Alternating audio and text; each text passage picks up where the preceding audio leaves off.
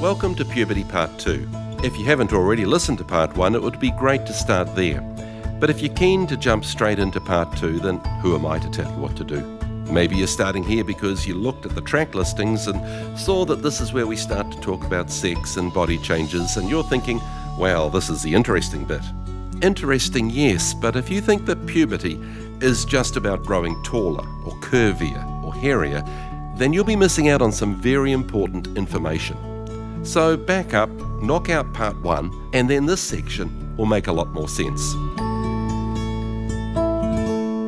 Sweet. Well, in part one, we looked at some of the mental and emotional changes that happen during puberty and adolescence. And there are really, honestly, so many things that change. Uh, there are things that change, like your friendships, your relationship with your parents, your body. Yeah, yeah, pretty much everything. Like making friends, for instance, gets harder. See, when I was six, right? Okay, I was six. Uh, it was really easy to make friends. I'd rock up to somebody in the playground and I'd be like, uh, sure, he, uh, I like your eyebrows. I really like the fact that you've got two of them. Something like that. You, you know, you want to be my friend? But at this age, you can't just make a friend by telling someone you like their eyebrows. Friendships are a lot harder to make these days. Something else that changes during puberty is your relationship with your parents. I mean, I remember in primary school, my dad used to play this game. It was like a classic dad game. He'd pick me up from school, and just as I was about to open the car door, he'd drive forward a couple of meters. You know the one? And I was like, "That's so funny, Dad! That's so funny." Yeah, that was when I was in primary school. But when I was in intermediate, not cool. I was like, "Nah, Dad, that is just shame." So your friendship might change, your relationship with your parents might change, but one of the biggest things that changes during puberty is your body. Everyone goes through puberty, like everyone on this earth goes through puberty. The only person that hasn't gone through puberty is Bart Simpson. I mean, seriously, that guy has been 10 for like 20 years, bro. But the main reason he hasn't been through puberty is because he is not a person. My point is, if you're a person, you are going to go through puberty. I don't know if you've noticed this happening or not yet, but your body is going to do some amazing things over the next couple of years. I think one of the biggest questions that people have about puberty is when will it start? Like for me.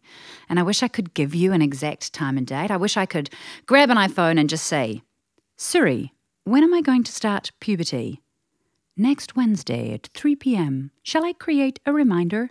Yeah, thanks, Siri, but that's not how puberty works. Experts aren't exactly sure why puberty starts at different times for different people, but what they do know is this. Girls start puberty at an earlier age than boys. So for girls, it's around 8 to 12 years old. And boys start around 10 to 13 years old. And I guess that's a little bit why girls are like, boys are so immature. And that actually makes sense. Girls are starting to mature a couple of years earlier than boys. And the boys don't even care. They're all like, hey, girls, check this out. I can make a funny noise with my hand in my armpit. Yeah, it is actually a skill. Another big question that people have about puberty is why do we change? Well, that's because of an increase in hormones. There's an area in your brain called the hypothalamus. Let's just call it hippo. During puberty, this hippo releases lots of chemicals. I mean, lots. So boys get a whole lot of testosterone. Testosterone makes boys muscly, strong, smell a little bit, well, I don't know how to describe it, like last year's sports shorts. And girls get a lot of estrogen. So estrogen makes girls curvy and also smell a little bit like well, last year's sports shorts. These chemicals let your body know hey, body, it's time to start changing. So at this stage in life, it's actually really, really normal to feel different from your friends because we go through puberty at different times. So some people will start changing early and some people will start changing later.